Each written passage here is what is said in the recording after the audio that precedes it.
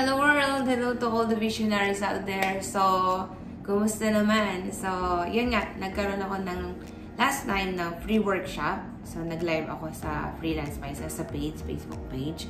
So, if you want uh, to watch that video na I give my idea dun sa mga maraming idea na, na paano sila mag-start ng kanilang sariling business. Okay, so if you want to watch that, I think it's only 30 minutes.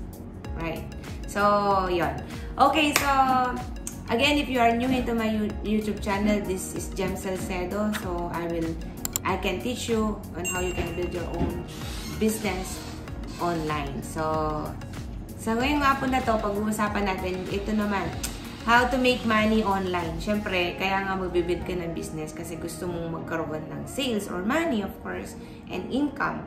So, how to make money online doing selling.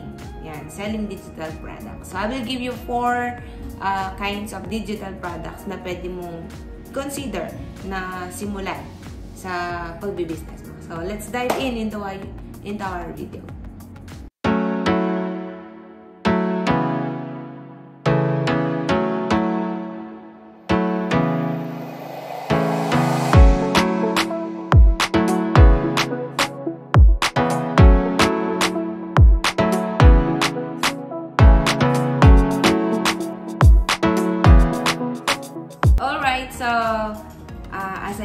Bibigyan kita ng idea kung paano at ano yung mga pwede mong simulan na digital products. Okay, so number one, ebook. Yan. So, ebook. So, ano ba yung ebook? It's a electronic book.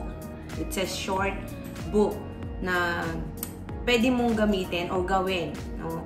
Uh, actually, pwede mo yung gawin sa sa Canva. So, kahit saan. So, pwede mong syempre, if you know how to design uh, well, mas maganda, di ba? Pero yun nga, you can make e-book, simple and short book na pwede mong ilagay lahat ng, ng mga nalaman mo, kaya uh, pwede mong ituro sa iba. Yan. So, it's a digital product. It's a form uh, electronic books. Yan. So, it consists a text and images. Pwede mo siya, siya bigyan ng image and text of course. So, yun yung isa sa mga pwede mong i-start na product, no? Sa digital products na pwede mong i-sell at pwede kang magkaroon ng uh, money through online. So, again, kamukha nung nasabi ko kahapon dun sa, o nasabi ko dun sa videos, dun sa free workshop na ginawa ko, you need to start with a simple one. Kasi nga, totoo yun, yung parang din, masyadong difficult uh, hindi ka makapag-start. So, gawin mo muna yung mga simple. So, you try to make an ebook if you want to start your business. Of course, kasi kailangan kasi nag-iisip ka ng product. So, uh, if you have a lot of information o kaya educational um, information do sa mga sa target market mo, so you can make an ebook. Uh, more, more often, gagawin, ginagawa to dun sa mga leadership, ganun, or personal development, o kaya sa relationship, ganun Or, pwede rin sa mga, kunyari, uh, e-book on how to cook uh, delicious um, cookies like that. So, pwede mong gawin yun. So, ano man yung mga yun. Kasi, na-search ko, tsaka tinanong ko rin yung mister ko, at least, um, 20 pages, 15 to 20 pages. Lalo-lalo na, um, hindi naman ganun pa yung kailangan mong, ano, baga, hindi siya ganun kamahal. Pwede mo siyang i-sell in a, in a lowest price. So, syempre, kung ano ka na, di ba, batikan, pwede mo nang uh, babayad yun ng mas malaki. Yan, so you can start making an ebook. So that is one uh, product that I can suggest to you. Okay, so number two naman tayo, you can make an online course. Yan. So, what is the meaning of online course? So, ito ay isang online uh, courses na dinideliver for a series of lessons. Yan. So, you can make a series of lessons on online courses.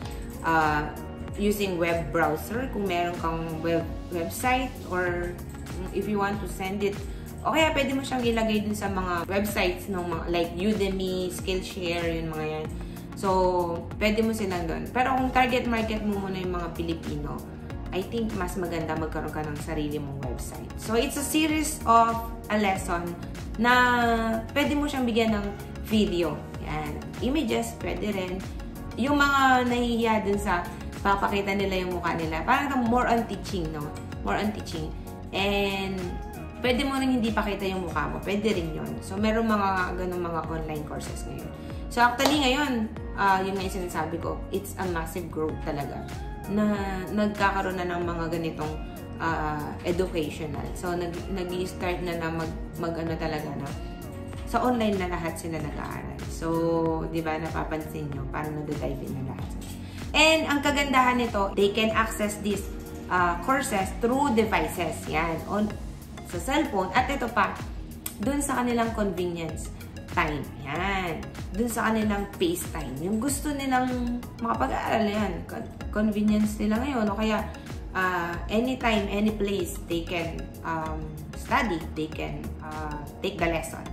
Yan. Yung sa kan nakasalalay sa kanya, kung tatapusin niya at may mangyayari sa kanya about the online course. Yung kagandahan ng online course, minomotivate ka niya na uh, gawin yon araw-araw. Hindi yung pinipilit ka. Imo-motivate mo talaga yung sarili mo.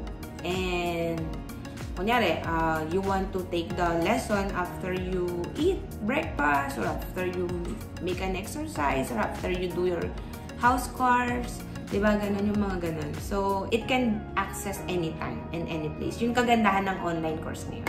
Actually, yun yung sinasabi nila na kapag talaga nagkaroon ng parang nako-comfort yung mga tao at the same time, nakukuha naman nila yung value na dapat nilang makuha. Mas na mas maganda yung uh, outcome. Yan. So, it is designed as online environment for convenient learning.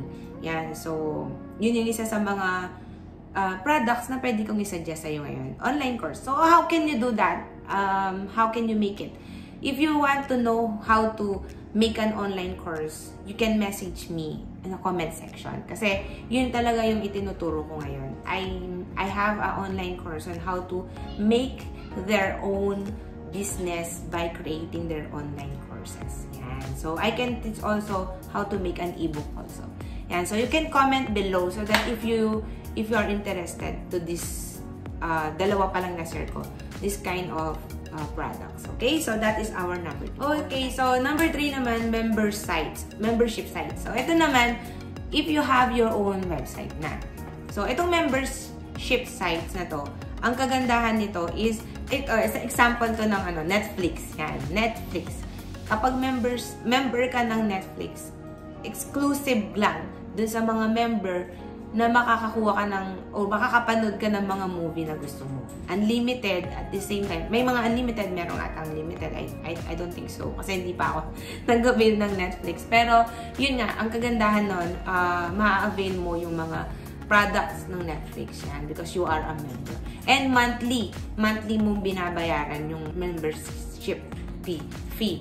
So, yung membership sites like this one, kasi yung isang napanood ko, isang, isang uh, pina-follow ko, meron siyang membership site.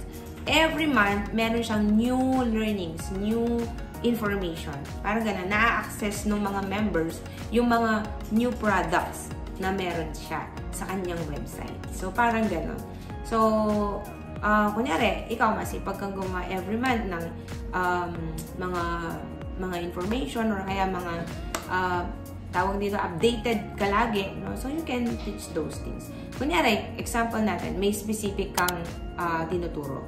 So, ina-update mo sila lagi. And then, mga strategy na pwede nilang magamit. Yan. So, that is a membership site. So, this, that is one of the digital products that you can make if you have your website. Yan, no? If you have your website. Kasi kailangan ng website dito kasi um, doon sila mag-a-avail. Yan. Tsaka doon kasi sa website kasi merong mga tawag dito automatic na pag nagbayad sila, yun, makakapag-access sila. So, marami ka munang titingnan dito pero maganda rin to kasi monthly may target ano ka, uh, income. Yan. So, if you want to target this income, kailangan may mga ganitong members ka.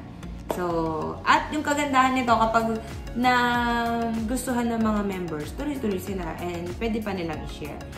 Um, actually, in the, in the near future, I'll try, I will try to make this um, product na magkaroon ng membership site. Kasi, uh, yung, cor yung course ko, gagawin ko siya na at least sa, sa 12 months, no, every month, meron silang new learnings. Yan. So, that is one of the digital products that I can share to you, membership sites. Okay, last one. So, yung podcast. Yan. Podcast naman is Actually, galing yan talaga sa iPhone.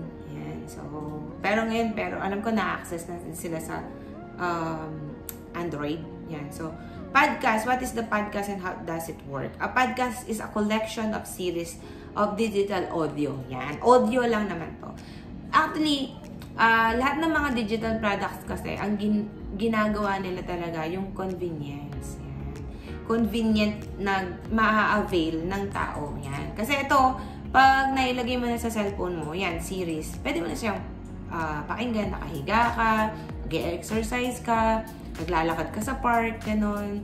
Pwede mo silang pakinggan. Or if you are relaxing, no? Naririnig mo sila sa audio. ba diba, uh, nare-retain yung naririnig mo. So, if you want to may equip talaga dun sa gusto mo, nyari, personal development. So, you can avail podcast or about personal development and then yung papakinggan mo sila lagi. Yan. So, every day you can do that. So, it's a audio files na uh, and they are all available for downloading or listening via via internet. Meron din na uh, apps ba, para kahit walang walang internet, you can listen to them. So, it's a recording, no? It's a, a recording, a series or episode uh, pod podcasts are typically hosted by an individual or individuals. Individual, pwedeng siya ay isang influencer. O kaya individuals, nung pwede sila na nagko meron silang conversation about business or about relationship or about the things in in their life or ganun about something na pwedeng makapagbigay uh, information or encouragement sa iba.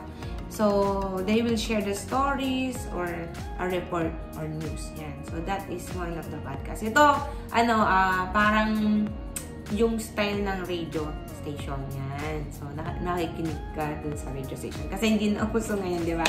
So, you, you can listen through uh, tsaka yung radio station may mga patalastas. Ito, wala. Pero, paano ka mag earn dito? Yung iba kasi, merong mga parang tinatawag natin na um, commercial.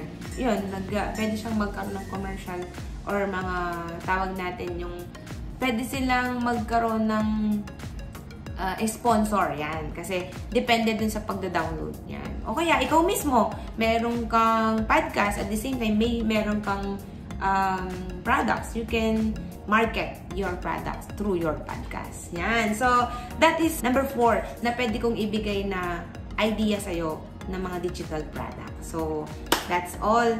And I hope pwede mo silang simulan ngayon. And meron akong i-aano sa inyo, i-share sa inyo. I make an ebook. Yung ebook na yon talagang I create that kasi yun talaga yung mga natutunan ko. It's a purposeful life. Purposeful life kasi napakahalaga ng purpose natin sa buhay. But how to be more practical and have a spiritual guide in business. Kasi nga, kahit nagbi-business ka, kailangan di nawawala yung purpose mo. Yan. So, I made an ebook. It's only 150.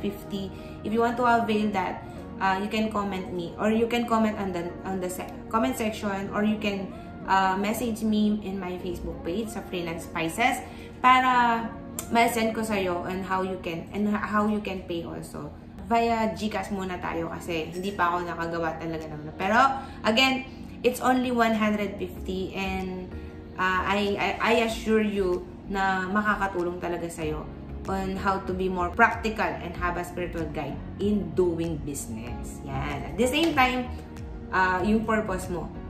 Yan. Okay, so that's it. I hope na enjoy mo itong ating video na to, how to make money online using or selling digital products. So, if you're not yet subscribing to my YouTube channel, para mas updated ka pa sa ibang mga videos na gagawin ko, ano pang hinihintay mo, subscribe and click the notification bell. Every time na mag-upload ako ng new video, ma-notify ka. Okay, so thank you and God bless you. See you around.